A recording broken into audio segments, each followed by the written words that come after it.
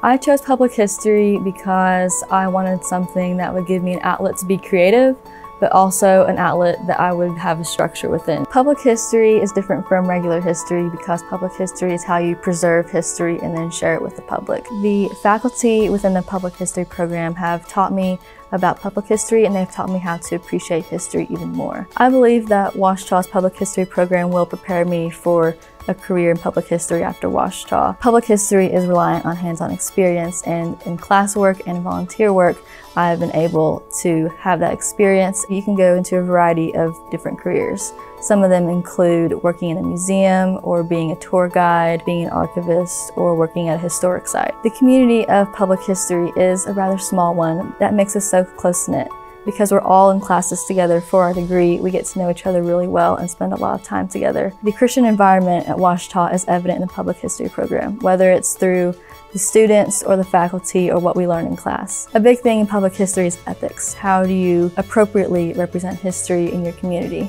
The Christian environment at Ouachita helps us understand ethics in public history. If you're considering public history, I recommend Ouachita. The environment of a Christian school and the phenomenal faculty combined heart, and head when learning about public history, while the hands-on opportunities provides practical experience for you to take into the real world. My name is Sarah, and I'm a public history major at Ouachita.